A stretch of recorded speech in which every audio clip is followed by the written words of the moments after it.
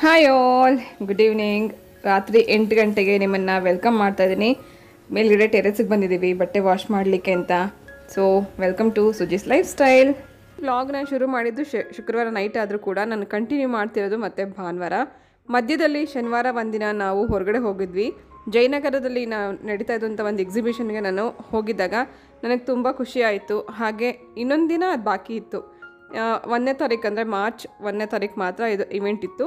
ಹಾಗಾಗಿ ಯಾರು attend ಮಾಡೋವಂಥವ್ರಿಗೆ help ಆಗ್ಬೋದು ಅನ್ನೋಕ್ಕೋಸ್ಕರ ನಾನು ಈ ವ್ಲಾಗ್ನ ಮಧ್ಯದಲ್ಲೇ ನಿಲ್ಲಿಸಿ ಮತ್ತೆ ಶನಿವಾರ ನಾವು ಹೋಗಿದ್ದಂಥ ಏನು ಎಕ್ಸಿಬಿಷನ್ ವ್ಲಾಗನ್ನು ನಾನು ನಿಮಗೆ ಶೇರ್ ಮಾಡಿದ್ದೆ.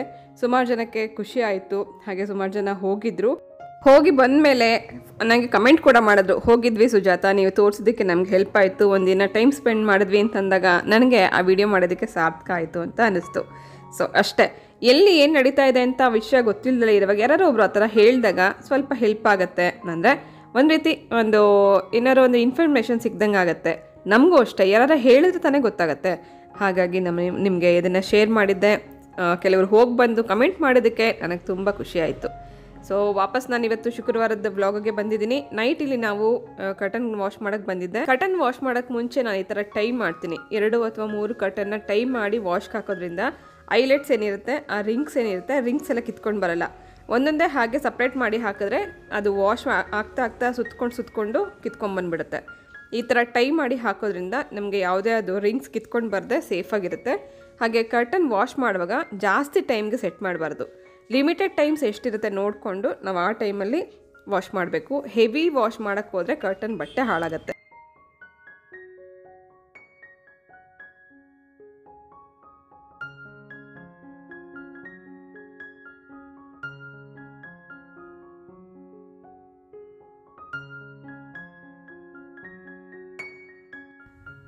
ಪ್ರಿಯಾ ಇಲ್ಲಿ ಕೈಯಲ್ಲಿ ಅವಳು ಯೂನಿಫಾರ್ಮ್ನ ವಾಶ್ ಮಾಡ್ಕೋತಾ ಇದ್ದಾಳೆ. ಏನಕ್ಕೆ ಅಂತಂದರೆ, ಇವತ್ತು ಅವ್ರ ಕಾಲೇಜಲ್ಲಿ ವೈನ್ ಏನೋ ಟೆಸ್ಟಿಂಗ್ ಕೊಟ್ಟಿದ್ರು. ವೈನ್ ಅವ್ರಿಗೆ ಪ್ರಿಪೇರ್ ಮಾಡಿಸಿ, ಅದನ್ನು ಹೇಗೆ ಫಾರ್ಮೆಂಟೇಷನ್ ಮಾಡೋದು, ಹೇಗೆ ಪ್ರಿಪೇರ್ ಮಾಡೋದು ಅಂತ ಎಲ್ಲ ಅವ್ರ ಲ್ಯಾಬಲ್ಲಿ ಹೇಳ್ಕೊಡ್ತಾರೆ. ಹಾಗೆ ಎಷ್ಟು ದಿನ ಅದನ್ನು ಏನೋ ಫಾರ್ಮೆಂಟೇಷನ್ಗೆ ಇಡಬೇಕು, ಇದನ್ನೆಲ್ಲ ಅವ್ರಿಗೆ ಡೀಟೇಲಾಗಿ ಹೇಳ್ಕೊಡ್ತಾರೆ. ಇವತ್ತು ಅವ್ರಿಗೆ ಟೇಸ್ಟ್ ಮಾಡೋದಕ್ಕೆ ಕೊಟ್ಟಿದ್ರು ಎಲ್ಲರಿಗೂ ಪರ್ಟಿಕ್ಯುಲರ್ ಬ್ಯಾಚ್ ಅಂತ ಮಾಡಿ ಬ್ಯಾಚ್ ವೈಸ್ ಅವ್ರಿಗೆ ಬೇರೆ ಬೇರೆಯವ್ರಿಗೆ ಮಾಡಿಸ್ತಾರೆ. ಇವತ್ತು ಟೇಸ್ಟ್ ಮಾಡ್ಬೇಕಾದ್ರೆ ಮೈ ಮೇಲೆ ಚೆಲ್ಕೊಂಡಿದ್ಲು. ಹಾಗಾಗಿ ಇದನ್ನು ಕೈಯಲ್ಲಿ ವಾಶ್ ಮಾಡ್ತಿದ್ದಾಳೆ.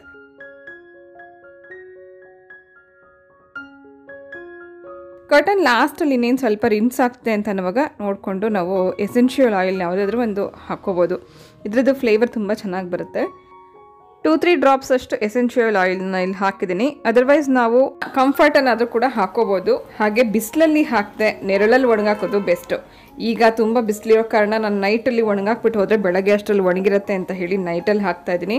ಆದಷ್ಟು ಇದನ್ನು ಶೇಡ್ ಇರುವಾಗ, ತುಂಬ ನೆರಳಿರುವಾಗ ನಾವು ಕರ್ಟನ್ನ ಹಾಕೋದ್ರಿಂದ ಇದ್ರದ್ದು ಕಲರ್ ಶೇಡ್ ಫೇಡ್ ಆಗಲ್ಲ. ತುಂಬ ಚೆನ್ನಾಗಿರುತ್ತೆ. ಸಾಕಷ್ಟು ವರ್ಷ ನಾವು ಇದನ್ನು ಯೂಸ್ ಮಾಡ್ಕೋಬೋದು. ನಾನು ಈ ಕರ್ಟನ್ ಸ್ಟಾರ್ಟ್ ಮಾಡಿ ಯೂಸ್ ಮಾಡೋಕ್ಕೆ ಸ್ಟಾರ್ಟ್ ಮಾಡಿ ಸುಮಾರು ಒನ್ ಇಯರ್ ಮೇಲೆ ಆಯಿತು. ಇದ್ರದ್ದು ನೋಡಿ ಇವಾಗಲೂ ಕಲರ್ ಹಾಗೆ ಇದೆ. ಹಾಗೆ ರಿಂಗ್ಸ್ ನಾವು ಕಟ್ಟಿ ನಾವು ವಾಶ್ ಮಾಡೋದ್ರಿಂದ ರಿಂಗ್ಸ್ ಇದರದ್ದು ಐಲೈಟ್ಸ್ ಏನಿರುತ್ತೆ ಯಾವುದೇ ಹಾನಿ ಆಗದೆ ಸೇಫ್ ಆಗಿರುತ್ತೆ. ಇದು ಕರ್ಟನ್ ಹೇಗೆ ವಾಶ್ ಮಾಡೋದು ಅಂತ ಕೇಳಿದ್ದಕ್ಕೆ ಕಮೆಂಟಲ್ಲಿ ಬಂದಿದ್ದರಿಂದ ನಾನು ಇವತ್ತು ನಿಮಗೆ ಶೇರ್ ಮಾಡಿದ್ದೀನಿ. ಎರಡೆರಡು ಫೋನ್ ಇಟ್ಕೊಂಡು ಓದಬೇಕು. ಫಸ್ಟ್ ಪಿ ಯು ಬಂದಾಗ ಫೋನ್ ಕೊಡಿಸಿದ್ರು. ಏನು ಫೋನ್ ಕಂಪಲ್ಸರಿ ಮಾಡಿದ್ರು. ಫೋನ್ ಯಾತಕ್ಕೆ? ಆ್ಯಪ್ಗೋಸ್ಕರ ಫೋನು ಈಗ ಒಂದೋಗಿ ಎರಡೆರಡು ಫೋನ್ ಆಯಿತು. ನಿಮ್ಮದು ನೋಡಿ ನೋಟ್ಸ್ ನೋಟ್ಸ್ಗೋಸ್ಕರ ಫೋನು ಆ ಕಡೆ ಅದು? ಚಾರ್ಜ್ ಇದೆ ಅದಕ್ಕೆ. ಓಕೆ ಈಗ ಪಿ ಯುಗೆ ಬಂದಾಗ ಕಂಪಲ್ಸರಿ ಫೋನ್ ಅಂತ ಹೇಳಿದ್ರು. ಫೋನ್ ಯಾತಕ್ಕೆ? ಬರೀ ಆ್ಯಪ್ಗೋಸ್ಕರ ಅಂತ ತೊಗೊಂಡಿದ್ದು. ಆಮೇಲೆ ಏನಾಯಿತು? ಕಂಟಿನ್ಯೂ ಆಗೋಯ್ತು. ಫೋನ್ ಕಂಟಿನ್ಯೂ ಆಯಿತು. ಎಲ್ಲರಿಗೂ ಫೋನ್ ಕೊಡಿಸ್ಲೇಬೇಕಾಯ್ತು. ಈಗ ಡಿಗ್ರಿಗೆ ಬಂದಮೇಲೆ ಈಗ ಏನು ಮಾಡಿಸ್ತಿದ್ದಾರೆ ನಿಮಗೆ? ಲ್ಯಾಬಲ್ಲಿ ಎಕ್ಸ್ಪೆರಿಮೆಂಟ್ಸ್ ಮಾಡಿಸ್ತಿದ್ದಾರೆ ಎಕ್ಸ್ಪೆರಿಮೆಂಟ್ ಮಾಡುವಾಗ ಈಗ ವೈನ್ ಬೇರೆ ಹೇಳ್ಕೊಟ್ಟಿದ್ದಾರೆ. ವೈನು ಯಾತಕ್ಕೋಸ್ಕರ ನಿಮ್ಗೆ ಇವಾಗ ಇದೆ ಹೇಳ್ಕೊಡ್ತಿರೋದು? ಅದು ವೈನ್ ಪ್ರಿಪೇರ್ ಮಾಡೋದಷ್ಟೇ ಅಲ್ಲದೆ ಟೇಸ್ಟ್ ಕೂಡ ಮಾಡಿಸ್ತಿದ್ದಾರೆ. ವೈನ್ ಅಂತಂದ್ರೆ ಏನು? ಆಲ್ಕೋಹಾಲ್ ತಾನೆ? ವೈನ್ ಅಂದ್ರೆ ಆಲ್ಕೋಹಾಲ್ ಅಲ್ಲ. ಅದ್ರಲ್ಲಿ ಆಲ್ಕೋಹಾಲ್ ಕಂಟೆಂಟ್ ಕಮ್ಮಿ ಇರುತ್ತೆ ಒಟ್ನಲ್ಲಿ ಆಲ್ಕೋಹಾಲ್? ಒಟ್ನಲ್ಲಿ ಆಲ್ಕೋಹಾಲ್ ಅಲ್ಲ. ಒಟ್ ಅವ್ರೇನೋ ವಿಸ್ಕಿ ಬಿಯರ್ ಅಂತೆಲ್ಲ ಅಂದ್ರೆ ಓಕೆ ಬೇಡ. ಅದೆಲ್ಲ ತಪ್ಪು. ಬಿಕಾಸ್ ಅದು ಹಾರ್ಮ್ ಮಾಡುತ್ತೆ ಹೆಲ್ತ್ಗೆ ವೈನ್ ಪರ್ಪಸ್ ಇದೆ ಅದ್ರದ್ದು. ಅಂಡ್ ನಮ್ಗೆ ಬೇರೆ ಎಕ್ಸ್ಪೆರಿಮೆಂಟ್ಗೆ ವೈನ್ ಬೇಕು. ಯಾವುದಕ್ಕೆ? ನಮ್ ನಮ್ಗೆ ಬೇರೆ ಬೇರೆ ಎಕ್ಸ್ಪೆರಿಮೆಂಟ್ಸ್ ಇದೆ. ಸೊ ಅದ ವೈನ್ ನಾವೇ ಪ್ರಿಪೇರ್ ಮಾಡಿ ನಮ್ಗೆ ಫರ್ಮೆಂಟೇಷನ್ ಬಗ್ಗೆ ಎಲ್ಲ ಇದೆ ಲೆಸನ್ಸ್ ಇದೆ. ಅದಕ್ಕೇನೆ ಅದ್ರ ಬಗ್ಗೆ ಗೊತ್ತಾಗ್ಲಿ ಅಂತ ನಾವೇ ವೈನ್ ಪ್ರಿಪೇರ್ ಮಾಡಿ ಆ ವೈನ್ ಜೊತೆ ನಾವೇ ಬೇರೆ ಬೇರೆ ಎಕ್ಸ್ಪೆರಿಮೆಂಟ್ ಮಾಡಬೇಕು ಅಂತ ನಮ್ ಕೈಲೇ ಪ್ರಿಪೇರ್ ಮಾಡಿಸಿದ್ದು. ಅಂಡ್ ಗೊತ್ತೇ ಇರಲಿಲ್ಲ ವೈನ್ ಹೆಂಗಿರತ್ತೆ ಏನು ಅಂತೆಲ್ಲನೇ ಗೊತ್ತಿರಲಿಲ್ಲ. ಈ ತರ ಮಿಸ್ಕನ್ಸೆಪ್ಷನ್ಸ್ ಇರುತ್ತಲ್ಲ ವೈನ್ ಆಲ್ಕೋಹಾಲ್ ಕುಡಿಯೋಂಗಿಲ್ಲ ಅಂತಲ್ಲ ಅದನ್ನೆಲ್ಲ ತಿಳ್ಸಕ್ಕೋಸ್ಕರ ನಮ್ಗೆ ವೈನ್ ನಮ್ ಕೈಲೇ ಪ್ರಿಪೇರ್ ಮಾಡಿಸ್ಬಿಟ್ಟು ಟೇಸ್ಟ್ ಮಾಡಿಸಿ. ಅದು ಏನು ಗ್ಲಾಸ್ ಇಷ್ಟೇ. ಒಂದು ಸ್ಪೂನ್ ಅಷ್ಟಷ್ಟೇ ಟೇಸ್ಟ್ ಮಾಡಕ್ಕೋಸ್ಕರ. ನಮಗೊಂದು ಗೊತ್ತಾಗ್ಬೇಕಲ್ವಾ? ಆಯ್ತು ಈಗ ನಾನು ಒಂದು ಕ್ವಶನ್ ಕೇಳ್ತೀನಿ. ಈಗ ಕಂಪಲ್ಸರಿ ಫೋನ್ ಅಂತ ಮಾಡಿದ್ರು ಫೋನ್ ಅಡಿಕ್ಟ್ ಆಗೋಯ್ತು. ಈಗ ಎಲ್ರಿಗೂ ಫೋನ್ ಇರಲೇಬೇಕು ಯಾರ ಕೈ ಇಲ್ಲದ್ರೂ ಫೋನ್ ಇರುತ್ತೆ. ಇವಾಗ ಇದು ಟೆಸ್ಟ್ ಅಂತ ಮಾಡಿಸ್ತಿದ್ದಾರೆ ಅಂದ್ರೆ ಲ್ಯಾಬಲ್ಲಿ ಟೆಸ್ಟ್ ಅಂತ ಮಾಡಿಸ್ತಿದ್ದಾರೆ ಟೇಸ್ಟ್ ಅಂತ ಮಾಡಿಸ್ತಿದ್ದಾರೆ ಇದೇ ಅಡಿಕ್ಟ್ ಆದ್ರೆ ನಾಳೆ ಅದು ದೊಡ್ಡ ತಪ್ಪಾಗತ್ತಲ್ವಾ? ಅಡಿಕ್ಷನ್ ಎಲ್ಲ ಏನು ಆಗಲ್ಲ. ವೈನ್ ಬಿಕಾಸ್ ನಮ್ ನಾ- ಹೇಳ್ದಲ್ವಾ ಇದಕ್ ಮಾತ್ರ ಎಕ್ಸ್ಪೆರಿಮೆಂಟ್ ಮಾತ್ರ ಅಂತ. ವೈನ್ ಕೆಲವ್ರು ವೈನ್ ಇಷ್ಟನೂ ಆಗಿಲ್ಲ ಕೆಲವ್ರು ವೈನ್ ಯಾಕೆ ಎಕ್ಸ್ಪೆರಿಮೆಂಟ್ ಮಾಡಿಸ್ಬೇಕಿತ್ತು? ವೈನ್ ಇದೆ ನಮ್ ಸಿಲೆಬಸ್ ಅಲ್ಲ ಅದಕ್ಕೆ. ಸಿಲೆಬಸ್ ಎಲ್ಲ ಕೊಟ್ಟಿರತ್ತ? ಓಕೆ. ಅದಕ್ಕೇನೆ ಅವ್ರು ಮಾಡಿಸ್ತಾರನ ಇದ್ರಲ್ಲಿ ಏನಿದೆ? ಹ್ಮ್. ಆದ್ರೆ ಇದನ್ನೇ ಮಕ್ಳಿಗೆ ಟೇಸ್ಟ್ ಚೆನ್ನಾಗಿ ಬಂತು ಇಷ್ಟ ಆಯ್ತು ಅದನ್ನ ಕಂಟಿನ್ಯೂ ಮಾಡ್ಕೊಂಡು ಹೋದ್ರು ತಪ್ಪಾಗತ್ತಲ್ವಾ? ಕಾಲೇಜಿಂದನೇ ಒಂದ್ ರೀತಿ ಮಕ್ಳಿಗೆ ಕೆಟ್ಟದನ್ನ ಹೇಳ್ಕೊಟ್ಟಂಗೆ ಆಗ್ಲಿಲ್ವಾ ನಿಂಗೇನ್ ಅನ್ಸುತ್ತೆ? ಎಷ್ಟೊಂದ್ ಜನ ಎಲ್ಲರ ಹತ್ರನು ಫೋನ್ ಇದೆ. ಎಲ್ಲರೂ ಫೋನ್ ಇಟ್ಕೊಂಡ್ಬಿಟ್ಟೇನೆ ಯಾರೂ ಇದಾಗ್ತಲ್ಲ. ಯಾರಿಗೆ ಬುದ್ಧಿ ಇದೆ ಫೋನ್ ಪಕ್ಕಕ್ಕೆ ಇಟ್ಬಿಟ್ಟು ಓದ್ಬೇಕು ಅಂದ್ರೆ ಅವ್ರು ಓದ್ತಾ ಇದಾರೆ ಅವರು ಅಂತವ್ರು ಇದ್ದಾರೆ ಆ- ತರದವ್ರು ಥರದವ್ರು ಆ ಥರದವ್ರು ಇರ್ತಾರೆ. ಕೆಲವ್ರಿಗೆ ವೈನ್ ವೈನ್ ಅದರದ್ದು ಅಡ್ವಾಂಟೇಜ್ ತಿಳ್ಕೊಂಡು ಅದನ್ನ ಏನ್ ಯೂಸ್ಫುಲ್ ಅದನ್ನ ಎಷ್ಟು ಕ್ವಾಂಟಿಟಿಯಲ್ಲಿ ತಗೋಬೇಕು ಅಂತ ತಿಳ್ಕೊಂಡು ಎಜುಕೇಟೆಡ್ಸ್ ಇರ್ತಾರಲ್ಲ ಅಂತವ್ರಿಗೆ ಇಂಥ ಅಡಿಕ್ಷನ್ ಎಲ್ಲ ಬರಲ್ಲ.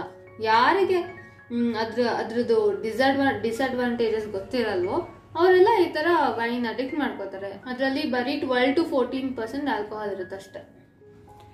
ಓಕೆ ಒಂದು ರೀತಿ ನನಗೇನೋ ಅದು ಸರಿ ಇಲ್ಲ ಅಂತ ಅನಿಸ್ತು ಯಾಕಂದರೆ ಫೋನ್ ಅಡಿಕ್ಟ್ ಆಯ್ತಾ?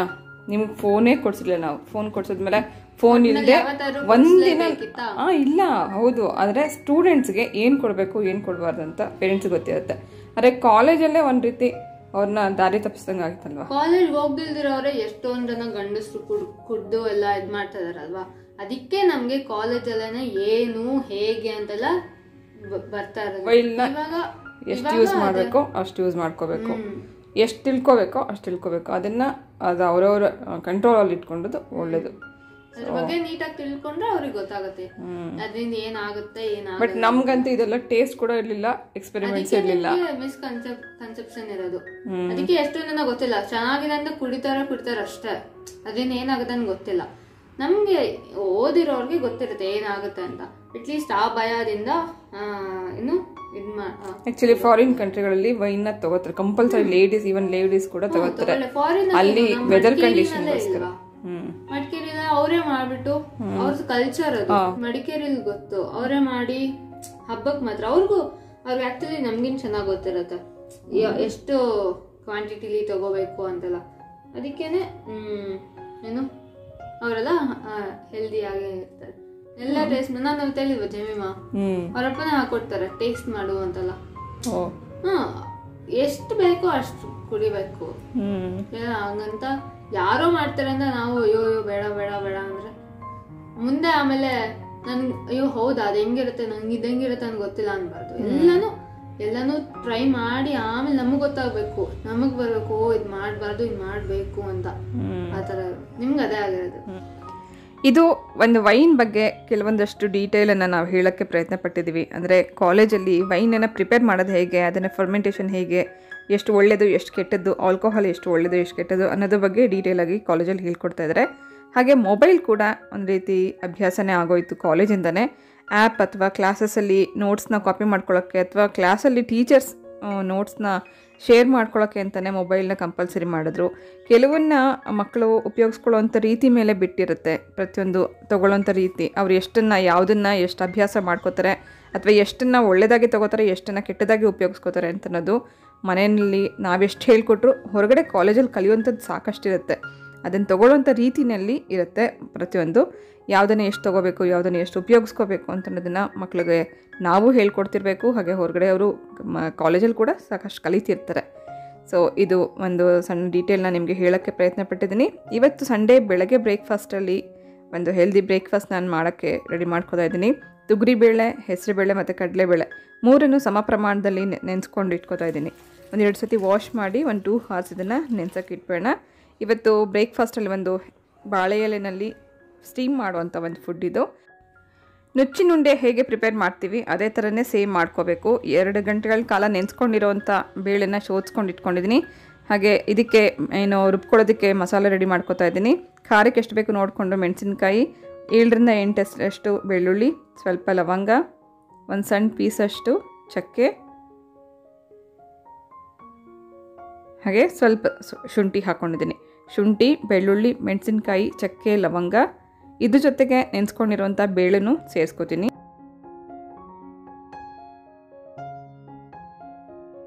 ಅದ್ರ ಜೊತೆಗೆ ಸ್ವಲ್ಪ ಬೇಳೆ ಮತ್ತು ಸ್ವಲ್ಪ ಉಪ್ಪು. ಇದಿಷ್ಟನ್ನು ಹಾಕಿ ನೀರು ಹಾಕ್ಕೊಳ್ಳದೆ ನಾವು ಇದನ್ನು ರುಬ್ಕೋಬೇಕು. ಯೂಶ್ವಲಿ ನೀವು ಮಸಾಲ ವಡೆಗೆಲ್ಲ ಹೇಗೆ ರುಬ್ಕೋತೀರೋ ಅದೇ ರೀತಿ.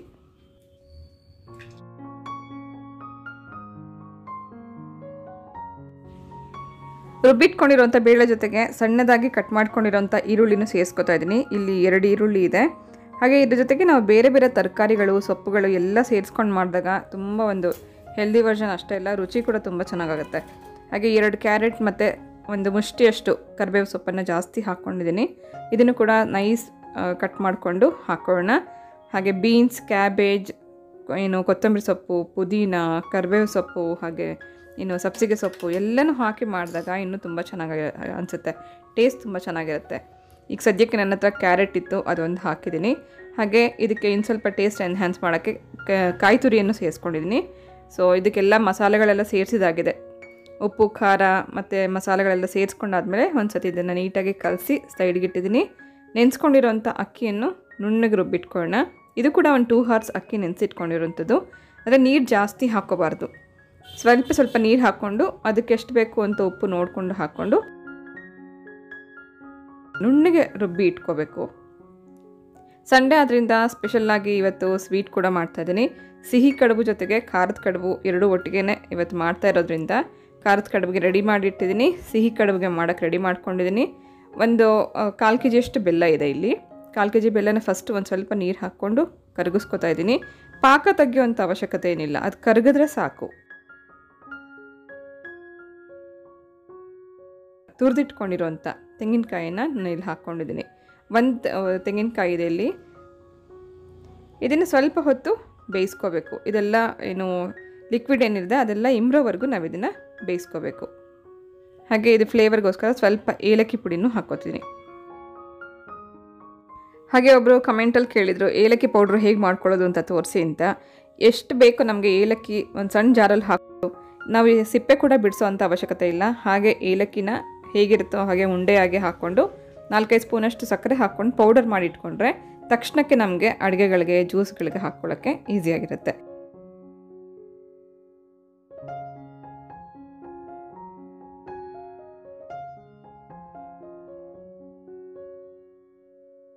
ಹೀಗೆ ಗಟ್ಟಿ ಆಗೋವರೆಗೂ ನಾವು ಇದನ್ನು ಬೇಯಿಸ್ಕೋಬೇಕು. ಇದು ಬೆಲ್ಲ ಎಲ್ಲ ಚೆನ್ನಾಗಿ ಗಟ್ಟಿ ಆಗುತ್ತೆ ಹಾಗೆ ಕಾಯಿ ಕೂಡ ಚೆನ್ನಾಗಿ ಬೆಂದಿರುತ್ತೆ. ಹಬೆಗೆ ಈಗ ರೆಡಿ ಮಾಡ್ಕೋತಾ ಇದ್ದೀನಿ. ಸ್ಟೀಮ್ ಮಾಡೋಕ್ಕೋಸ್ಕರ ಒಂದು ಬಾಳೆ ಎಲೆನ ನೀಟಾಗಿ ಇದನ್ನು ವಾಶ್ ಮಾಡ್ಕೋಬೇಕು, ಹಾಗೆ ಕಟ್ ಮಾಡಿ ಇಟ್ಕೋತೀನಿ. ಈಗ ಕಡ್ಡಿ ಏನಿರುತ್ತೆ, ಆ ಕಡ್ಡಿನ ಕೂಡ ಕಟ್ ಮಾಡ್ಕೋಬೇಕು. ಫೋಲ್ಡ್ ಮಾಡಿ ನಾವು ಇದನ್ನು ಏನು ಬೇಯಿಸೋಕೆ ಇಡ್ತಾ ಇರೋದ್ರಿಂದ ಫೋಲ್ಡಿಂಗ್ ನೀಟಾಗಿ ಬರಬೇಕು ಅನ್ನೋಕ್ಕೋಸ್ಕರ ಈ ಕಡ್ಡಿಯನ್ನೆಲ್ಲ ಕಟ್ ಮಾಡ್ಕೊಂಬೇಡ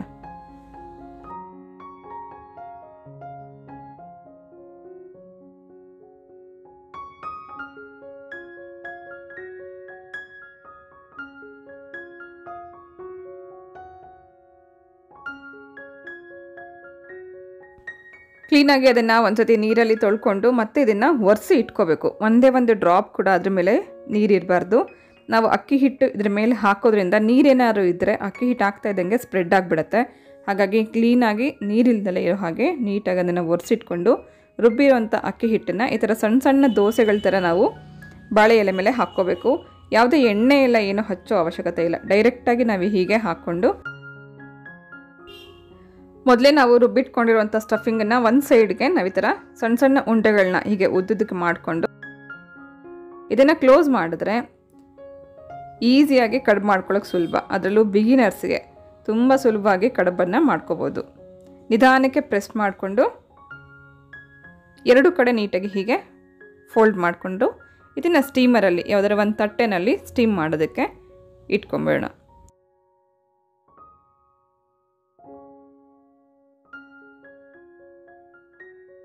ನಮ್ಗೆ ಎಷ್ಟು ತೆಳು ಮಾಡ್ಕೋತೀವಿ ಅಷ್ಟು ಚೆನ್ನಾಗಿ ಬರುತ್ತೆ. ಹೇಗೆ ನಾವು ದೋಸೆ ಮಾಡ್ತೀವಿ ಅದೇ ಥರ ತೆಳುವಾಗಿ ನಾವು ಸ್ಪೂನಿಂದ ತೊಗೊಂಡು ಒಂದೊಂದು ಸ್ಪೂನ್ ಅಥವಾ ಎರಡೆರಡು ಸ್ಪೂನಷ್ಟು ಹಿಟ್ಟನ್ನು ಹಾಕ್ಕೊಂಡು ಒಂದು ಸೈಡ್ಗೆ ಸ್ಟಫಿಂಗನ್ನು ಇಟ್ಟು ಕ್ಲೋಸ್ ಮಾಡಿದ್ರೆ ಆಯಿತು. ನಾವು ಹೀಗೆ ಕೂಡ ಇಟ್ಕೋಬೋದು ಫೋಲ್ಡ್ ಮಾಡ್ದಲ್ಲೇ ಕೂಡ ಇಟ್ಕೋಬೋದು, ಅಥವಾ ನಮಗೇನಾದ್ರು ಹೊರಗಡೆ ಚೆಲ್ಲುತ್ತೆ ಅನ್ನೋ ಭಯ ಇದ್ದರೆ ಈ ಥರ ಫೋಲ್ಡ್ ಮಾಡಿ ಕೂಡ ಇಟ್ಕೋಬೋದು. ಇದೇ ರೀತಿ ಸ್ವೀಟ್ನ ಕೂಡ ನಾನು ಒಂದು ಸೈಡಲ್ಲಿ ಇಟ್ಟು ಮಾಡಿ ತೋರಿಸ್ತಾ ಇದ್ದೀನಿ.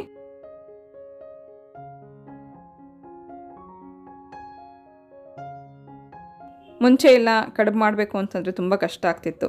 ಹಿಟ್ಟನ್ನು ಸಪ್ರೇಟಾಗಿ ಬೇಯಿಸ್ಕೋಬೇಕು, ಹಾಗೆ ಅದನ್ನು ಏನು ಈ ಥರ ಮಾಡ್ಸೋಕ್ಕೆ, ಒಳಗಡೆ ಸ್ಟಫಿಂಗ್ ಮಾಡಿ ಮಾಡ್ಸೋಕ್ಕೆಲ್ಲ ಬರಲ್ಲ ಅಂತಂದವ್ರಿಗೆ ಈ ಥರ ಮಾಡ್ಕೊಳ್ಳೋ ಮಾಡ್ಕೊಳ್ಳೋಕ್ಕೆ ತುಂಬ ಸುಲಭ. ಅದರಲ್ಲೂ ಬಿಗಿನರ್ಸ್ಗೆ ಸುಲಭವಾಗಿ ಕಡುಬು ಮಾಡ್ಕೊಳ್ಳೋದನ್ನು ಹೇಳ್ಕೊಟ್ಟಿದ್ದೀನಿ. ಟ್ರೈ ಮಾಡಿ ಹೇಗಿತ್ತು ಅಂತ ಮಾಡಿದ ಮೇಲೆ ನನಗೆ ಕಮೆಂಟ್ ಸೆಕ್ಷನಲ್ಲಿ ತಿಳಿಸಿ. ಸ್ಟೀಮಿಂಗ್ ಅಂತಂದಮೇಲೆ ಹತ್ತರಿಂದ ಹನ್ನೆರಡು ನಿಮಿಷ ಟೈಮ್ ಹಿಡಿಯುತ್ತೆ. ನಾವು ಇದನ್ನು ಸ್ಟೀಮ್ ಮಾಡೋಕ್ಕೆ ಇಟ್ಟಿದ್ದೀನಿ ನಾಲ್ಕರಿಂದ ಐದನ್ನ ಬೇಯಿಸ್ಕೊಳಕ್ಕೆ ಇಟ್ಕೊಂಡ್ರೆ ಚೆನ್ನಾಗಿ ಹತ್ತರಿಂದ ಹನ್ನೆರಡು ನಿಮಿಷದಲ್ಲಿ ಬೇಯಿಸ್, ಬೇಯಿಸ್ಕೋಬೋದು. ತುಂಬ ಜಾಸ್ತಿ ಇಟ್ಕೋಬಾರ್ದು. ಕೆಲವು ಸತಿ ಮೇಲ್ಗಡೆದು ಬೆಂದೇ ಇರಲ್ಲ, ಕೆಳಗಡೆದು ಮಾತ್ರ ಬೆಂದಿರುತ್ತೆ. ಇಲ್ಲ ಅಂತಂದರೆ ಇಡ್ಲಿ ಕುಕ್ಕರಲ್ಲಿ ಕೂಡ ನಾವು ಸುಲಭವಾಗಿ ಬೇಯಿಸ್ಕೋಬೋದು. ಹಾಗೆ ನಾನಿವಾಗ ತೋರಿಸ್ತಾ ಇರೋದು ನಮ್ಮ ಗಾರ್ಡನಲ್ಲಿ ಬಿಟ್ಟಿರುವಂಥ ಎಲ್ಲ ಹೂ ಎಷ್ಟು ಚೆನ್ನಾಗಿ ಬಿಡ್ತಾ ಇದೆ ಈಗ. ಸುಮಾರು ದಿನದಿಂದ ಹಿಂದೆ ನಾನು ತೋರಿಸಿದ್ದೆ, ಗಿಡಗಳೆಲ್ಲ ಒಣಗೋಗಿತ್ತು ಅಂತ. ಆದರೆ ಇವಾಗ ಮತ್ತೆ ಚಿಗುರಿದೆ. ಚೆನ್ನಾಗಿ ಹೂಗಳ, ಹೂ ಕೂಡ ಬರ್ತಾ ಇದೆ ಇದರಲ್ಲೀಗ ಖುಷಿ ಆಗುತ್ತೆ. ಮತ್ತೆ ಚಿಗುರ್ತಾ ಇದೆ, ಮತ್ತೆ ಹೂ ಬಿಡ್ತಾ ಇದೆ ಅಂತಂದಾಗ ತುಂಬ ಖುಷಿ ಆಯಿತು.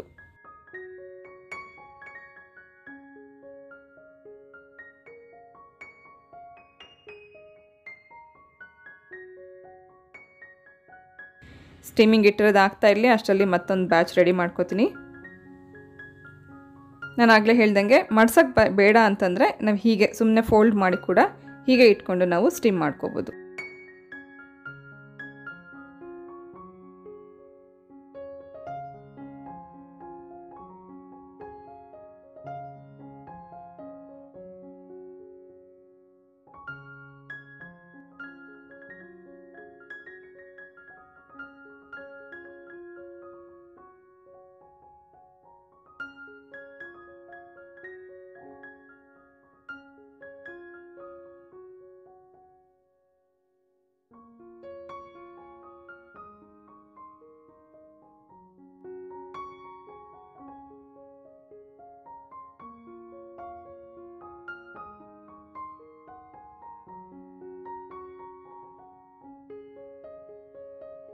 ಸಿಹಿ ಕಡುಬು, ಖಾರದ ಕಡುಬು ಎರಡೂ ರೆಡಿಯಾಗಿದೆ. ಇದನ್ನು ತುಪ್ಪದ ಜೊತೆ ಸರ್ವ್ ಮಾಡ್ತಿದ್ದೀನಿ. ಈವನ್ ನಾವು ಚಟ್ನಿಗಳ ಜೊತೆ ಕೂಡ ನಾವು ಇದನ್ನು ತಿನ್ನೋಕ್ಕೆ ತುಂಬ ಚೆನ್ನಾಗಿರುತ್ತೆ.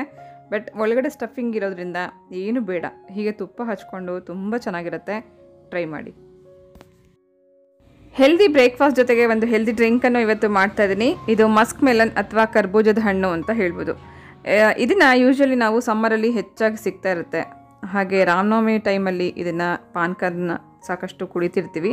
ಬೇರೆ ರೀತಿಯಲ್ಲಿ ಇವತ್ತು ಪಾನಕ ಹೇಗೆ ಮಾಡ್ಕೊಳ್ಳೋದು ಅಂತ ನೋಡೋಣ ಬನ್ನಿ. ಕಾಲು ಸ್ಪೂನಷ್ಟು ಮೆಣಸಿನ ಪುಡಿಯನ್ನು ಹಾಕ್ಕೊಂಡಿದ್ದೀನಿ ಕಪ್ಪು ಮೆಣಸಿನ ಪುಡಿ, ಹಾಗೆ ಜಲ್ಜೀರ ಪೌಡರ್ ಕಾಲು ಸ್ಪೂನಷ್ಟು. ನಿಮಗೆಲ್ಲ ಶಾಪಲ್ಲೂ ಸಿಗುತ್ತೆ ಜಲ್ಜೀರ ಪೌಡರ್ ಅಂತ ಕೇಳಿದ್ರೆ. ಇದ್ರದ್ದು ಒಂದು ಎಕ್ಸ್ಟ್ರಾ ಟೇಸ್ಟ್ ಚೆನ್ನಾಗಿ ಕೊಡುತ್ತೆ ಜ್ಯೂಸ್ಗಳಿಗೆ ಹಾಕ್ಕೊಂಡಾಗ ಮೂರು ಸ್ಪೂನಷ್ಟು ನಿಂಬೆಹಣ್ಣಿನ ರಸನೂ ಸೇರಿಸ್ಕೊತಾ ಇದ್ದೀನಿ. ಹಾಗೆ ಬೆಲ್ಲದ ಪುಡಿ. ಯಾವುದಾದ್ರೂ ನಾವು ಬೆಲ್ಲನಾರು ಹಾಕೋಬೋದು ಅಥವಾ ಸಕ್ಕರೆನಾರು ಹಾಕ್ಕೊಂಡು ಕೂಡ ನಾವು ಇದನ್ನು ಮಾಡ್ಕೋಬೋದು. ಸ್ವೀಟ್ ಇರುತ್ತೆ, ಹುಳಿ ಇರುತ್ತೆ, ಮತ್ತು ಖಾರ ಇರುತ್ತೆ. ಗಂಟ್ಲಿಗೆ ತುಂಬ ಹಿತ ಅನಿಸುತ್ತೆ. ಸ್ವಲ್ಪ ಇದಕ್ಕೆ ಟೇಸ್ಟ್ಗೆ ಸ್ವಲ್ಪ ಉಪ್ಪನ್ನು ಸೇರಿಸ್ತಾ ಇದ್ದೀನಿ. ಉಪ್ಪು, ಹುಳಿ, ಖಾರ, ಸಿಹಿ ಎಲ್ಲ ಇರೋದ್ರಿಂದ ಒಂದು ಹೆಲ್ದಿ ಡ್ರಿಂಕ್ ಜೊತೆಗೆ ಒಂದು ಟೇಸ್ಟಿ ಡ್ರಿಂಕ್ ಕೂಡ ಇದು. ಹಾಗೆ ಇದೇ ಹಣ್ಣನ್ನು ನಾವು ಸಕ್ಕರೆ ಹಾಕ್ಕೊಂಡು ತಿನ್ನೋಕ್ಕೂ ಕೂಡ ತುಂಬ ಚೆನ್ನಾಗಿರುತ್ತೆ.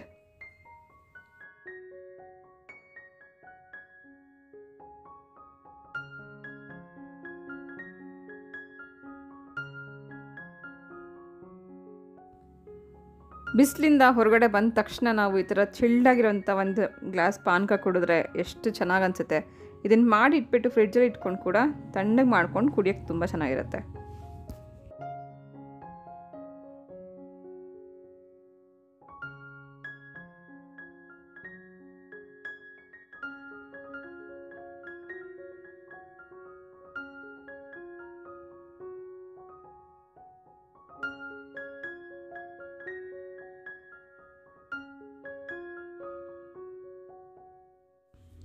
ಸಂಡೇ ಆದ್ದರಿಂದ ಯಾವುದಾದ್ರೂ ಒಂದು ಸ್ಕಿನ್ ಕೇರ್ ಅಥವಾ ಹೇರ್ ಕೇರ್ ಕಂಟಿನ್ಯೂಸ್ ಆಗಿ ನಾವು ಪ್ರತಿ ವಾರ ನಾವು ಮಾಡ್ತಾ ಇರ್ತೀವಿ. ಹಾಗಾಗಿ ಇವತ್ತು ಒಂದು ಹೇರ್ ಕೇರ್ ಹೇಗೆ ಮಾಡೋದು ಅಂತ ತೋರಿಸ್ತಾ ಇದ್ದೀನಿ. ಅರ್ಧ ಕಪ್ಪಷ್ಟು ಮೊಸರಿಗೆ ನಾವು ಎಲ್ಲ ಒಂದು ಪೌಡರ್ಸ್ನ ಸೇರಿಸ್ಕೊಂಡು ಮಾಡ್ಕೋಬೋದು. ಇದು amla powder brahmi powder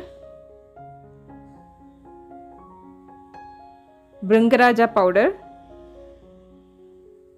ಇದು ಅರಿತ ಅಂತಂದರೆ ಅಂಟುವಾಳದ ಕಾಯಿಯ ಪೌಡರ್ ಈ ಪೌಡರ್ಸ್ ನಿಮಗೆ ಎಲ್ಲ ಶಾಪಲ್ಲೂ ಸಿಗುತ್ತೆ. ಅಥವಾ ನಿಮಗೆ ಆನ್ಲೈನಲ್ಲಿ ಕೂಡ ಸಿಗ್ಬೋದು. ನಾನು ಇಲ್ಲೇ ಹೊರಗಡೆ ಲೋಕಲ್ ಶಾಪಲ್ಲಿ ತೊಗೊಂಡು ಬಂದಿದ್ದೆ. ಇದೆಲ್ಲ ಪೌಡರ್ಸ್ನು ಸ್ವಲ್ಪ ಸ್ವಲ್ಪ ಒಂದು ಸಣ್ಣ ಸಣ್ಣ ಸ್ಪೂನಷ್ಟು ಅರ್ಧ ಕಪ್ ಮೊಸರಿಗೆ ಹಾಕಿ ನಾವು ಚೆನ್ನಾಗಿ ಮಿಕ್ಸ್ ಮಾಡಿ ತಲೆಗೆ ಹಚ್ಕೊಂಡು ಸ್ನಾನ ಮಾಡೋದ್ರಿಂದ ತಲೆಯಲ್ಲಿರುವಂಥ ಜಿಡ್ಡು ಅಗರು ಎಲ್ಲ ಹೋಗೋದಷ್ಟೇ ಅಲ್ಲ ಭೃಂಗರಾಜ ಆಮ್ಲ ಮತ್ತು ಬ್ರಾಹ್ಮಿ ಇದೆಲ್ಲ ಕೂದಲು ಬೆಳವಣಿಗೆ ಕೂಡ ಹೆಲ್ಪ್ ಮಾಡುತ್ತೆ. ಅರಿತ ಏನು ಅಂಟುವಾಳದ ಕಾಯಿಯ ಪೌಡರ್ ಜಿಡ್ಡನ್ನು ತೆಗೆಯೋದಷ್ಟೇ ಅಲ್ಲ ಆ, ಒಂದು ಶೈನ್ ಕೂಡ ಕೊಡುತ್ತೆ, ಶಾಂಪೂ ಥರ ಕೆಲಸ ಮಾಡುತ್ತೆ. ಹಾಗೆ ಇದ್ರ ಜೊತೆಗೆ ಇನ್ನು ಸ್ವಲ್ಪ ನಾವು ಕಡಲೆ ಹಿಟ್ಟು ಮತ್ತು ಸೀಗೆ ಪುಡಿ ಕೂಡ ಮಿಕ್ಸ್ ಮಾಡಿಕೊಂಡು ಒಂದು ಹೇರ್ ಪ್ಯಾಕ್ ಮಾಡಿಕೊಂಡಾಗ ಕೂದಲು ಬೆಳವಣಿಗೆಗೆ ಹೆಲ್ಪ್ ಮಾಡೋದಷ್ಟೇ ಅಲ್ಲ, ತುಂಬ ಒಳ್ಳೆ ಶೈನ್ ಕೂಡ ಬರುತ್ತೆ. ಇದನ್ನು ವೀಕ್ಲಿ ಒನ್ಸ್ ನಾವು ಮಾಡ್ಕೋಬೋದು. ಇದನ್ನೇ ನಾವು ಪೌಡರ್ನ ಮೆಹೆಂದಿ ಪ್ಯಾಕಿಗೆ ಕೂಡ ನಾವು ಸೇರಿಸ್ಕೊಂಡು ಕೂಡ ಮಾಡ್ಕೊಳ್ಳೋದ್ರಿಂದ ಕೂದಲು ಚೆನ್ನಾಗಾಗತ್ತೆ. ಇದನ್ನು ನಾನು ನೆಕ್ಸ್ಟ್ ಟೈಮ್ ಹೇಗೆ ಮಾಡ್ಕೊಳ್ಳೋದು ಮೆಹಂದಿ ಜೊತೆಗೆ ಅಂತ ಕೂಡ ನಾನು ನಿಮಗೆ ಶೇರ್ ಮಾಡ್ತೀನಿ.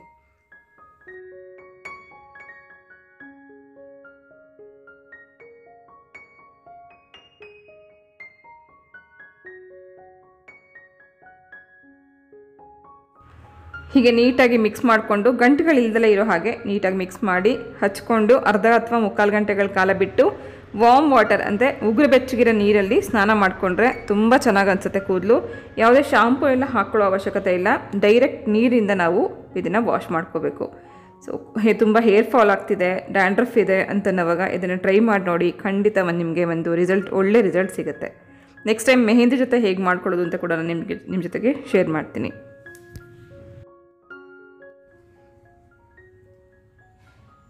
ಈ ಟೈಲರಿಂಗ್ ಮಿಷಿನ್ನ ನಾನು ಇವತ್ತು ತರಿಸ್ಕೊಂಡಿದ್ದೀನಿ. ಇದ್ರ ಬಗ್ಗೆ ಕೂಡ ಡೀಟೇಲ್ ನಾನು ನಿಮಗೆ ನೆಕ್ಸ್ಟ್ ಬ್ಲಾಗಲ್ಲಿ ಕೊಡ್ತೀನಿ. ಮನೆಗೆ ನಾನೇ ಯಜಮಾನಿ ಆದರೂ ಕೂಡ ನನಗೆ ಯಾವುದೇ ರೈಟ್ಸ್ ಇಲ್ಲ. ನಾನು ನೋಡ್ಕೊಂಬಂದಿದ್ದೆ ಎಕ್ಸಿಬಿಷನಲ್ಲಿ ಇನ್ನು ಬ್ರದರ್ ಕಂಪ್ನಿಯದ್ದು ಟೈಲರಿಂಗ್ ಮಿಷಿನ್ ನೋಡ್ಕೊಂಬಂದಿದ್ದೆ ಅದಕ್ಕೆ ಮುಂಚೆ ಇವ್ರು ಬೇರೆನೇ ತಗೋಬೇಕು ಅಂತ ಹೇಳಿದ್ರು ಆನ್ಲೈನಲ್ಲಿ ಸ್ಮಾಲ್ ಒಂದು ಏನೋ ಟೈಲರಿಂಗ್ ಮಿಷಿನ್ ಬರುತ್ತೆ. ಯಾವುದು ಯಾವುದು ಯಾವ್ದು ಕಂಪ್ನಿ ಅಂತ ಟೂ ತೌಸಂಡ್ ಸಮಥಿಂಗ್ ಎಷ್ಟೋ ಇದೆ ಅದು. ತುಂಬಾ ಸಣ್ಣದೊಂದು ಮಿಷಿನ್ ಅದು ತಗೋಬೇಕು ಅಂತ ಹೇಳ್ತಾ ಇದ್ರು. ಸೊ ನಾನು ತಗೊಂಬಂದು, ತಗೊಂಡಿದ್ದು ಅದು ಸಿಂಗರ್ ಕಂಪ್ನಿಯದು ಪ್ರಿಯಾ ಆಗಲೇ ಒಂದು ಟೂ ಇಯರ್ಸ್ ಇರುವಾಗ ತಗೊಂಡಿದ್ದು. ನಾನು ಅಷ್ಟೇ ನನ್ನ ಟೈಲರಿಂಗ್ ಅದಕ್ಕೆ ನನ್ಗೆ ಗೊತ್ತಿಲ್ಲ. ಮನೆಯಲ್ಲಿ ಏನೋ ಹಳೆ ಬಟ್ಟೆಗಳು ನಾವು ನಮ್ದು ಡೈಲಿ ಯೂಸ್ ಮಾಡಿ ಬಟ್ಟೆಗಳು. ಸುಮ್ಮನೆ ಒಂದು ಸ್ಟಿಚ್ ಹಾಕಕ್ಕೆ ನೂರು ರೂಪಾಯಿ ತಗೋತಾರೆ ಹೊರಗಡೆ. ಆ ಥರ ಯೂಸ್ಗೆ ಅಂತ ನಾನು ಟೈಲರಿಂಗ್ ಮಿಷಿನ್ ತಗೊಂಡಿದ್ದೆ. ಸಿಂಗಲ್ ಕಂಪ್ನಿಯದಿತ್ತು ಫಸ್ಟ್ ನಮ್ದು. ಬಟ್ ಈಗ ಅದು ತುಂಬಾ ಸ್ಟ್ರಕ್ ಆಗ್ತಿತ್ತು. ಹಾಗೆ ಏನೋ ದಾರ ಕಟ್ಟಾಗೋದು, ಮತ್ತೆ ಬೆಲ್ಟ್ ಕಟ್ಟಾಗೋದು, ಬೆಲ್ಟ್ ಸಿಗ್ತಾ ಇರ್ಲಿಲ್ಲ. ಅದಕ್ಕೋಸ್ಕರ ಎಕ್ಸ್ಚೇಂಜ್ ಮಾಡೋಣ ಅಂತ ಅನ್ಕೊಂಡಿದ್ದೆ. ಇವರು ನನಗೆ ಗೊತ್ತಿದ್ದಂಗೆ ನಾನು ಹಳೆ ಮಿಷನ್ನ ಗುಜ್ರಿಗೆ ಹಾಕ್ಬಿಟ್ಟಿದ್ರು. ಗುಜ್ರಿಗೆ ಎಷ್ಟು ಕೊಟ್ಟಿದ್ರು ಅಂತ ಹೇಳಿ ಕೊಟ್ಟಿದ್ದೆ. ತಿರ್ಗಾ ನಿಮ್ಗೆ ಬಂದು ವಾಪಸ್ ಬೇಡ ನಾನು ಕೊಡಲ್ಲ ಅಂತ ಹೇಳಿ ಅಂತ ಒಳಗಡೆ. ವಾಪಸ್ ಹೇಳಿ ಸಾವಿರ ರೂಪಾಯಿ ಕೊಟ್ಟಿದ್ದೆ. ಹೊರತು. ನೂರೈವತ್ತು ರೂಪಾಯಿ ಕೊಟ್ಬಿಟ್ಟಿದ್ರು ಗುಜ್ರಿಗೆ. ಅವನ್ ಬಂದು ಮತ್ತೆ ಮತ್ತೆ ಕೇಳ್ತಾ ಇದ್ದ. ನೂರೈವತ್ತು ರೂಪಾಯಿ ಕೊಟ್ಟಿದ್ದಕ್ಕೆ ಕೊಟ್ಬಿಡಿ ಸರ್ ನಮ್ಗೆ ಮಿಷನ್ ಏನೇ ಬೇರೆಯವ್ರು ಯಾಕೆ ತಗೊಂಡ್ರು ಅಷ್ಟೇ ಕೊಡೋದು ನಿಮ್ಗೆ. ಗುಜ್ರಿ ಸಾಮಾನು ಅಂತಂದ್ರೆ ನೂರು ರೂಪಾಯಿ ಅಷ್ಟೇ ಕೊಡೋದು ಅಂತ. ಮಿಷನ್ ತಗೊಂಡೋಗಿದ್ದ ನಮ್ಗೆ ಅಲ್ಲಿ ಎಕ್ಸಿಬಿಷನ್ ಅಲ್ಲಿ ಮಾತಾಡಿದಾಗ ಅವ್ರು ಹೇಳಿದ್ರು, ಹಳೇದು ಯಾವುದೇ ಮಿಷನ್ ಆದ್ರೂ ನಾವು ಸಾವಿರ ರೂಪಾಯಿ ತಗೋತೀವಿ ಅಂತ. ಹಾಗಾಗಿ ನಾನು ಮಾತಾಡಿ ಫೋನ್ ನಂಬರ್ ಕೊಟ್ಬಿಟ್ಟು ಬಂದಿದ್ದೆ. ಸೊ ನಿನ್ನೆ ಕಾಲ್ ಮಾಡಿದ್ರು, ಬೇಕಾ ಏನೋ ನಿಮ್ಗೆ ಆರ್ಡರ್ ತಗೋತೀರಾ ಅಂತ ಕೇಳಿದಾಗ ನಾನು ಇವರ ಪರ್ಮಿಷನ್ ಕೇಳಿ ಆರ್ಡರ್ ತಗೊಂಡು ಅಂದ್ರೆ ಬುಕ್ ಮಾಡಿ ನೆನ್ನೆ ತರಿಸ್ಕೊಂಡಿದ್ದೀನಿ ಇವತ್ತು ಬಂದಿದೆ ಅದು. ಐ ಮೀನ್ ನಿನ್ನೆ ಆರ್ಡರ್ ಮಾಡಿದ್ದೆ ಇವತ್ತು ಬಂದಿದೆ. ಇದನ್ನ ನಾನು ನಿಮಗೆ ನಾಳೆ ವಿಡಿಯೋದಲ್ಲಿ ಶೇರ್ ಮಾಡ್ತೀನಿ. ಸೊ ಒಂದು ಸಾವಿರ ರೂಪಾಯಿ ಐಟಮ್ ಅನ್ನ ಗುಜ್ರಿ ಅವ್ರು ನೂರು ರೂಪಾಯಿಗೆ ತಗೊಂಡಿದ್ರು. ಅದರಿಂದ ಎರಡ್ ಸತಿ ನನಗೆ ಗೊತ್ತಿಲ್ಲೇ ಕೊಟ್ಬಿಟ್ಟಿದ್ರು. ಈಗ ಹರ್ಷ ಕೂಡ ಇವ್ರ ಮೇಲೆ ಕೋಪ ಮಾಡ್ಕೊಂಡ್ಬಿಟ್ಟಿದ್ದಾನೆ. ಯಾಕೆ ಅಂತಂದ್ರೆ ಇವನ್ ಚಿಕ್ಕವನಿಂದ ಎಷ್ಟೊಂದು ಆಟ ಸಾಮಾನು ಎಲ್ಲ ಸ್ಟಾಕ್ ಇಟ್ಕೊಂಡಿದ್ದವನು, ಅಂದ್ರೆ ಅದು ಮೆಮೊರೀಸ್ಗಾಗಿ ಎಷ್ಟು ನೆನಪುಗಳಿದೆ ಅದ್ರ ಜೊತೆ ಇರುತ್ತೆ. ಅಂದ್ರೆ ಮಕ್ಳದ್ದು ಕೆಲವು ಸಾಮಾನುಗಳು ಕೊಡ್ಬೇಕಾದ್ರೆ ತುಂಬಾ ಯೋಚನೆ ಮಾಡ್ತೀನಿ ನಾನು. ಬುಕ್ಸ್ ಆಗ್ಲಿ ಅಥವಾ ಹಳೆ ಸಾಮಾನುಗಳಾಗ್ಲಿ. ಈಗ ಅದನ್ನೆಲ್ಲ ಕೊಟ್ಬಿಟ್ಟಿದ್ದಾರೆ. ಈಗ ಅವ್ರ ಮೇಲೆ ಕೋಪ ಮಾಡ್ಕೊಂಡ್ಬಿಟ್ಟಿದ್ದಾನೆ. ಎಲ್ಲ ಬಾಲ್ ಇಂದ ಹಿಡಿದು ಒಂದು ಬಾಲ್ ಕೂಡ ಇಲ್ಲ. ಪುಸ್ ಪುಸ್ಗೆ ದೊಡ್ಡದು ಬಾಲ್ ಕೊಡೋಣ ಅಂತ ಹುಡುಗರ ಒಂದ್ ದೊಡ್ಡ ಬಾಲ್ ಕೂಡ ಇಲ್ಲ. ಸುಮಾರು ಅರ್ಧ ಮೂಟೆ ಅಷ್ಟು ಬಾಲ್ಗಳಿತ್ತು ಆಮೇಲೆ ಸಣ್ಣ ಸಣ್ಣ ಮಕ್ಕಳಿಂದನೂ ಕೊಡಿಸಿದ್ದ ಆಟದ ಸಾಮಾನೆಲ್ಲ ಮುರಿದೋಗಿದ್ರು ಕೂಡ ನೆನ್- ನೆನ್ಪಿಗೆ ಅಂತ ಇಟ್ಕೊಂಡಿದ್ದ. ಎಲ್ಲ ಕೊಟ್ಬಿಟ್ಟಿದ್ದಾರೆ. ಈಗ ನನ್ನ ಮಿಷನ್ ಕೂಡ ನನಗೆ ಗೊತ್ತಿಲ್ಲ ಅನ್ಎಕ್ಸ್ಪೆಕ್ಟೆಡ್ ಆಗಿ ಬಂದ್ ವಿಂಡೋ ಹತ್ರ ನೋಡಿದೆ ನಾನು. ಆವಾಗಲೇ ಗೊತ್ತಾಗಿದೆ ನನಗೆ ಅವ್ನು ಆಗ್ಲೇ ಅದನ್ನ ಲೋಡ್. ಮಾಡ್ಕೊಂಡ್ಬಿಟ್ಟಿದ್ದ. ಗಾಡಿ ಒಳಗಡೆ ಹಾಕೊಂಡ್ಬಿಟ್ಟಿದ್ದ ಮತ್ತೆ ನಾನು ತೆಗ್ಸಿ ಕೆಳಗಡೆ ಇಡಿಸ್ಕೊಂಡಿದ್ದೆ ಇಲ್ಲ ನಂಗೆ ಬೇಕೇ ಬೇಕು ಅಂತ ಹೇಳಿ.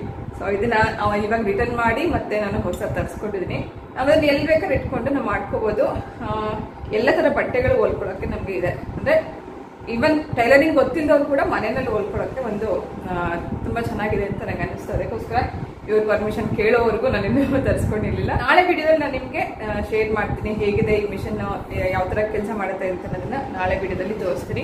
ನಾವು ತಗೋಬೇಕಂದ್ರೆ ಇವ್ರ ಪರ್ಮಿಷನ್ ತಗೋತೀವಿ. ಆದ್ರೆ ನಮಗೆ ಏನಾದ್ರು ಕೊಡ್ಬೇಕಂದ್ರೆ ವಾಪಸ್ ಅದಕ್ಕೆ ಯಾವುದೇ ಪರ್ಮಿಷನ್ ಇಲ್ಲ. ಎಲ್ಲ ಕೊಟ್ಬಿಡ್ತಾ ಇರ್ತಾರೆ, ಹಳೇದು ಹಳೇದು ಹಳೇದು ಅಂತ. ಸುಮಾರು ಬಟ್ಟೆಗಳು ಎಷ್ಟೋ ಎಲ್ಲ ಕೊಟ್ಬಿಟ್ವಿ. ಹಳೆ ತೆಗಿಬೇಕು. ಆದ್ರೆ ಕೆಲವೊಂದು ಮೆಮೊರೀಸ್ ಅಂತ ಇಟ್- ಇಟ್ಕೊಂಡಿರುವಂತ ವಸ್ತುಗಳನ್ನ ಕೊಡದೆ ಇದ್ರೆ ಒಳ್ಳೇದು. ಹರ್ಷಿತ್, ಇವಾಗ ಕೋಪ ಮಾಡ್ಕೊಂಬಿಟ್ಟು ತ್ರೀ ಡೇಸ್ ಇಂದ ಮಾತಾಡಿಸ್ತಾ ಇಲ್ಲ. ಯಾವಾಗ ಏನ್ ಸರಿ ಹೋಗುತ್ತೆ, ಇವರಿಬ್ರು ಅಪ್ಪ ಮಗಂದು ಯಾವಾಗ ಜಗಳ ಸರಿ ಹೋಗುತ್ತೆ ಗೊತ್ತಿಲ್ಲ. ನನಗಿಬ್ಬರದ್ದು ತಲೆನೋವಾಗಿದೆ ಈಗ. ಇವರು ಮಾತ್ರ ಅಲ್ಲ, ಅವನು ಇವರು ಮಾತಾಡಿಸ್ತಿಲ್ಲ, ಅವನು ಮಾತಾಡಿಸ್ತಿಲ್ಲ. ಇವರಿಬ್ರು ಮಧ್ಯೆ ನಾನು ಮೀಡಿಯೇಟರ್ ಆಗ್ಬಿಟ್ಟಿದ್ದೀನಿ ಈಗ. ಸೊ ಹೀಗಿದೆ. ನಾವೇನೇ ಅದೇ ಹೇಳಿದ್ವಲ್ಲ ಲಾಸ್ಟಲ್ಲಿ ಏನು ಹೇಳ್ತಿದ್ರೆ ಲೇಡೀಸ್ ನಾವ್ ಎಷ್ಟೇ ನಾವು ಮನೇನ ನಿಭಾಯಿಸ್ಕೊಂಡು ಹೋಗ್ತಿದ್ರು, ನಮ್ಗೆ ಯಾವುದೇ ರೈಟ್ಸ್ ಇರಲ್ಲ. ಇವ್ರ ಪರ್ಮಿಷನ್ ಸಿಗ್ಲೇಬೇಕಾಗುತ್ತೆ ಇದು main moral of the story ಅಂತಾನೆ ಇದು. ಸೊ ಇವತ್ತಿಗೆ ಇಷ್ಟ ಸಾಕು. ಮತ್ತೆ ಸಿಗ್ತೀನಿ. ನಾಳೆ ಇನ್ನೊಂದು ಇಂಟ್ರೆಸ್ಟಿಂಗ್ ಬ್ಲಾಗ್ ಜೊತೆಗೆ. ಈ ಬ್ಲಾಗ್ ಹೇಗಿತ್ತು ಅಂತ ಖಂಡಿತ ನನಗೆ ಕಮೆಂಟ್ ಸೆಕ್ಷನ್ ಅಲ್ಲಿ ತಿಳಿಸಿ. ಹೋಗಲ್ಲ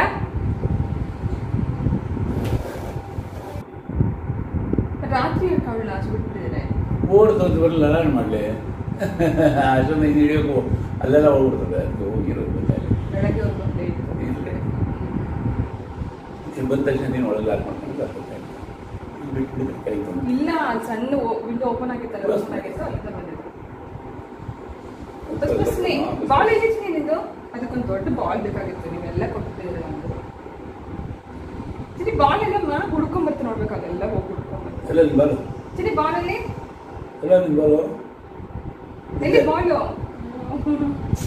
ನಿನ್ ಬಾಲು ಎಲ್ಲಿ ಬಾಲು ಚಿನಿ